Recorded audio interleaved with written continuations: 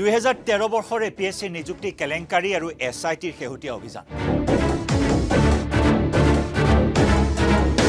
এই অভিযান চলি আছে এছ আই টিৰ। এজনৰ পিছত আনজন। ৰাজপত্ৰিত বিষয়াক তলব কৰা হৈছে এছ আই টিত হাজিৰ হ'বলৈ। আৰু সেই মৰ্মে বৃহস্পতিবাৰেও এছ আই টিত হাজিৰ হ'ল দুজনকৈ ৰাজপত্ৰিত বিষয়া। এই দুই অভিযুক্ত ৰাজপত্ৰিত বিষয়া হ'ল অসীমা কলিতা আৰু ফাৰুক আহমেদ। আৰু তাতোকৈ ডাঙৰ কথা হ'ল যে অসীমা কলিতাক এতিয়াও নিলম্বন কৰাই হোৱা নাই। কিন্তু বিধিৰ কি বিধান? আজি অসীমা কলিতা জেৰাৰ সন্মুখীন হৈছে চি আই ডিৰ কাৰ্যালয়ত এছ আই টিৰ আৰু এই চি আই ডিৰ কাৰ্যালয়তে এছ পি হিচাপে কৰ্মৰত অসীমা কলিতাৰ স্বামী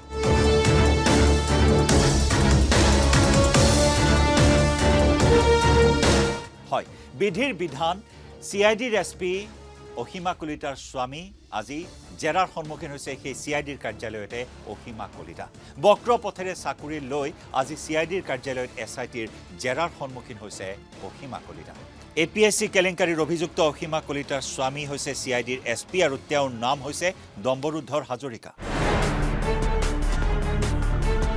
চি আই ডিৰ এছ পি দম্বৰুদ্ধৰ হাজৰিকাৰ পত্নীয়ে হৈছে এইগৰাকী ভ্ৰষ্টাচাৰী ৰাজপত্ৰিত বিষয়া A S P Asima Kalita আৰু এছ আই টিয়ে চলাই থকা এই অভিযানৰ মাজতে এতিয়া সম্ভাৱনা আহি পৰিছে বহুজনক গ্ৰেপ্তাৰৰ।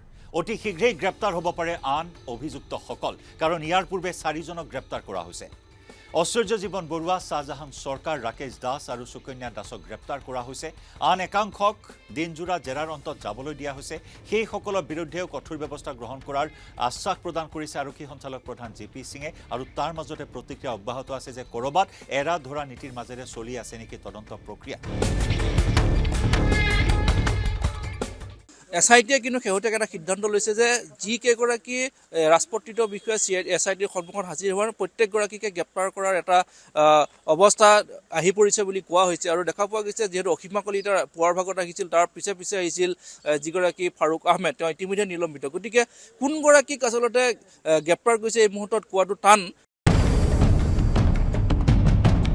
বৃহস্পতিবাৰে পুৱাই চি আই ডিৰ কাৰ্যালয়ত হাজিৰ হ'ল অসীমা কলিতা আৰু ফাৰুক আহমেদ। অসীমা কলিতাক যিহেতু এতিয়াও নিলম্বন কৰা হোৱা নাই সেইবাবেই চৰকাৰী বাহনত দেহৰক্ষী লৈ চি আই ডিৰ কাৰ্যালয়ত হাজিৰ হ'ল অসীমা কলিতা। লগতে হাজিৰ হ'ল ইতিমধ্যে চাকৰিৰ পৰা নিলম্বিত হোৱা ফাৰুক আহমেদ। নলবাৰীৰ প্ৰাক্তন বিধায়ক মদন কলিতাৰ কন্যা অসীমা কলিতাৰ বঢ়াই দিয়া হৈছিল ছয়ত্ৰিছ নম্বৰ। অসীমাৰ ঐচ্ছিক বিষয়ত বৃদ্ধি কৰা হৈছিল নম্বৰ। শিক্ষাতত্বৰ উত্তৰ বহীত লাভ কৰিছিল আঠান্নব্বৈ নম্বৰ। আঠান্নব্বৈৰ পৰা বৃদ্ধি কৰি এশ চৌত্ৰিছ নম্বৰ দিয়া হৈছিল অসীমাক। ৰাকেশ পালে নিজ হাতেৰে বঢ়াই দিছিল নম্বৰ। আৰু ঠিক তেনেদৰে ফাৰুক আহমেদৰ উত্তৰ বহীটো বঢ়াই দিয়া হৈছিল ছয়সত্তৰ নম্বৰ। ছশ নব্বৈৰ ঠাইত ফাৰুকে পাইছিল সাতশ ছয়াশী নম্বৰ। আৰু এনেদৰেই বক্ৰপথেৰে লাখ লাখ টকাৰ বিনিময়ত ৰাকেশ পালৰ চাকৰিৰ বজাৰৰ পৰা এ পি এছৰ চাকৰি ক্ৰয় কৰিছিল এই ভ্ৰষ্টাচাৰী বিষয়াসকলে। চাৰিজনৰ গ্ৰেপ্তাৰ একৈছজনৰ নিলম্বন। বাকীসকলৰ নিলম্বন গ্ৰেপ্তাৰ আৰু তাৰ পিছত দুহেজাৰ তেৰ বৰ্ষত যি সাতাৱন্নজনৰ বিৰুদ্ধে কঠোৰ ব্যৱস্থা লোৱা হৈছিল সেইসকলৰ বিৰুদ্ধে একেই কঠোৰ ব্যৱস্থা লোৱা হ'বনে? বিপ্লৱ শৰ্মা আয়োগৰ প্ৰতিবেদনত আগবঢ়োৱা পৰামৰ্শ বুলি পালন কৰা হ'বনে? এই চৌত্ৰিছগৰাকী বিষয়াৰ ক্ষেত্ৰত সেয়া সময়েহে ক'ব